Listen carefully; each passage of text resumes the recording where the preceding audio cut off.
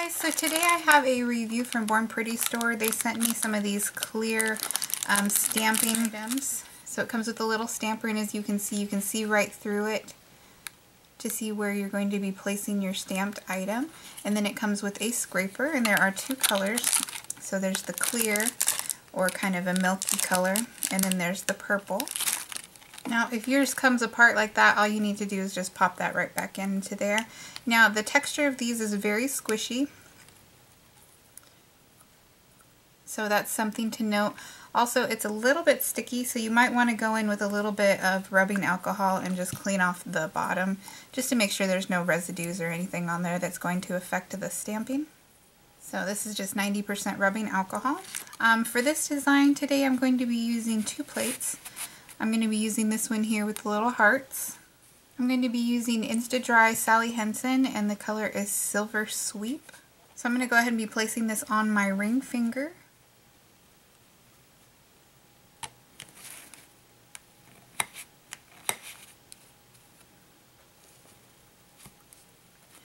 You can see it picked up the image very well.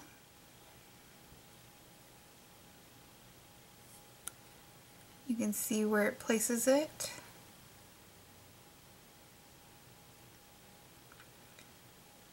And that worked perfectly. Now for the stamping plate, I'm going to be using acetone to clean that. Now for my thumb, I'm going to be using this plate here. And again, I'm going to be using the same polish.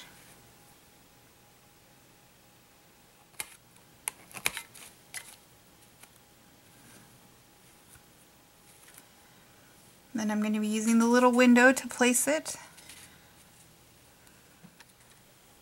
Once the stamping's done, go ahead and go in with the top coat of your choice. I'm going to be using Die Hard Nails. This is a gel polish top coat.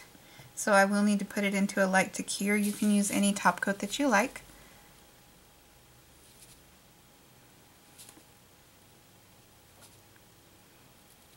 Make sure to cap the ends protect your design. Make sure you're covering the entire nail. Go ahead and cure that in the lamp if you need to. Once you've cured that, go ahead and go in with acetone. You can use a Q-tip if you prefer. And just clean up any polish that's on the side walls. Go ahead and take some rubbing alcohol and remove the tacky layer if you used a gel top coat. And that's it. As you can see, the stampers worked great. I had no problems with it. Um, the only thing I would say is maybe don't clean this off with acetone. It might end up dulling the plastic over time or the rubber that they use. Other than that, the scraper worked fine. I didn't have any problems with it. I was able to see clearly through the little viewfinder here to stamp where I wanted the image. It came out nice and clear.